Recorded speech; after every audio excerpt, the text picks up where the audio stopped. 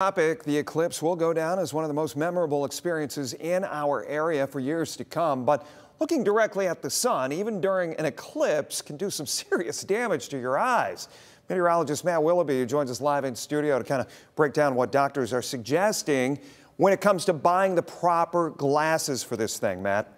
Yeah, Jeff, I went over to ProMedica Wildwood where they gave me an in-depth summary on the safety of solar glasses and what to look for in faulty glasses uh, that you may find online. A good pair of glasses here that should work. Solar eclipse glasses are essential for viewing this year's once-in-a-lifetime event.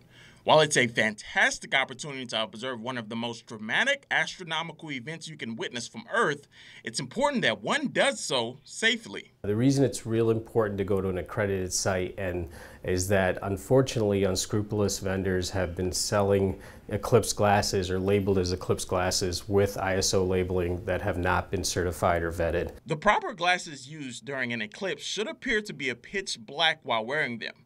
If you see through them, they may be a faulty pair. Glasses we would use to view an eclipse are several thousand times darker or stronger than your regular sunglasses. So you don't want to wear regular sunglasses or even several pairs of regular sunglasses aren't going to do what an ISO certified eclipse glasses or viewer will do. Getting the best look at the solar eclipse is a dream for many across the country. So sticking with the preferred pair is the safest choice. You also don't want to look at an eclipse or view an eclipse through a lens, like a binocular or a camera with eclipse glasses even on.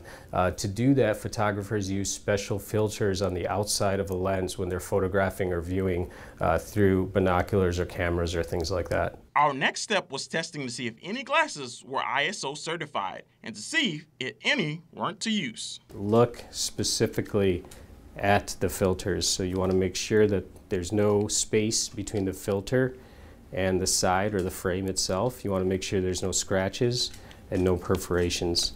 And then when you put them on, you should have a comfortable view of the sun and what you're looking at. If it feels bright, uh, if it looks blurry or uncomfortable, uh, stop viewing and don't use those glasses, get another pair. Well, Dr. Josie of ProMedica recommends that you visit the American Astronomical Society website where you can view a list of uh, the recommended and approved solar eclipse vendors that sell accredited ISO solar eclipse glasses to view the total solar eclipse on April 8th. We have a link to that and more on WTOL.com. Reporting in studio, Matt Willoughby for WTOL 11.